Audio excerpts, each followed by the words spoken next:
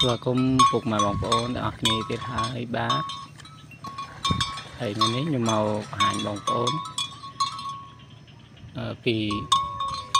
ការឃ្វាលក្បែររបស់ខ្ញុំដូចលើកមុនដែរហើយមកលើកនេះគឺអឺអាកាសធាតុអឺប្រែប្រួលខុសពីមុនមុនខ្លាំងមែនតើបងប្អូនដោយសារតែឥឡូវនេះហ្នឹង កន្លែងដែលខ្ញុំកំពុងតែចាំកន្លែងនេះដោយតែបងប្អូនបានឃើញអញ្ចឹងស្មៅល្អមែនតើឡើងខៀវស្ងាត់មែនតើបងប្អូនហើយខ្ញុំអ្នក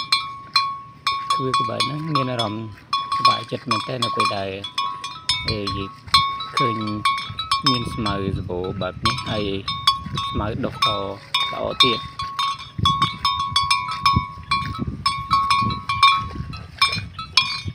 ហើយថ្ងៃនេះខ្ញុំ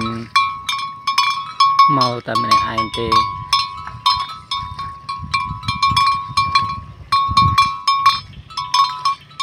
តែទោះជាមកម្នាក់ឯងក៏ដោយក៏ខ្ញុំនៅតែមានអារម្មណ៍ថាសប្បាយចិត្តខ្លាំងមែនទែនបងប្អូនដោយសារតែរដូវនេះគឺ សម្បូរទៅដោយស្មៅពណ៌បៃតងស្រស់តែម្ដងបងប្អូនហើយក៏មានភាពងាយស្រួលសម្រាប់ខ្ញុំផងដែរក្នុងការក្បឿក្បៃរបស់ខ្ញុំ គឺវាមិនជួបផលពិបាកអីដូចរដូវប្រាំងទេ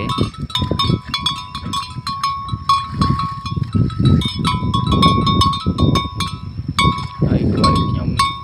ថ្ងៃនេះគឺអឺខ្ញុំអត់លេងតែខ្ញុំកាន់ខ្សែវាតែម្ដងដោយសារតែអឺព្រឹកហ្នឹងមិនដឹងមិនទេបងប្អូនប៉ុន្តែស្រាយខ្សែវាចេញពីក្រោមមកវាដើររហូតទៅហើយខ្ញុំក៏ខ្ជិលតាមវាហើយក៏ដាក់អាខ្សែ ឲ្យវែងហើយខ្ញុំកាន់ខ្សែវាទៅបងប្អូនខ្សែខ្សែខ្ញុំចូលហ្នឹងវែងវាចិត្ត20ម៉ែត្របងប្អូនហើយខ្ញុំអុយកាន់ខ្សែដៃម្ខាងទៅហើយក៏ថតដៃម្ខាងទៀតដោយសារតែខ្ញុំអត់មានអុយក្រុមសម្រាប់ថតឬក៏មានអ្នកថតអីទេ បាទឥឡូវនេះគឺខ្ញុំកំពុងតែដេញក្បៃដើម្បីទៅផ្ទះវិញហើយបងប្អូនឃើញថាវាឆ្អែតមែនតែនហើយពូវាឡើងធំធំបងប្អូនបាទអរគុណសម្រាប់ការទស្សនាវីដេអូរបស់ខ្ញុំ